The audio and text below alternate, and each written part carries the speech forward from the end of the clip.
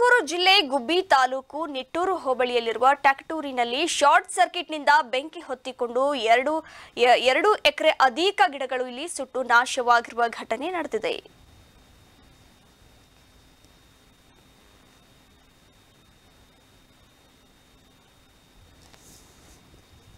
ಟ್ಯಾಕ್ಟೂರಿನ ಚನ್ನನಂಜಪ್ಪನವರಿಗೆ ಸೇರಿದ ಜಮೀನಲ್ಲಿ ಶಾರ್ಟ್ ಸರ್ಕ್ಯೂಟ್ನಿಂದ ಬೆಂಕಿ ಹೊತ್ತಿಕೊಂಡು ಒಂದೂವರೆ ಸಾವಿರ ಅಡಿಕೆ ಗಿಡ, ನೂರ ಇಪ್ಪತ್ತು ತೆಂಗು, ಐವತ್ತು ಬಾಳೆ ಹಾಗೂ ನುಗ್ಗೆ ಮರ ಮತ್ತು ಮಾವಿನ ಮರಗಳು ನಾಶವಾಗಿವೆ.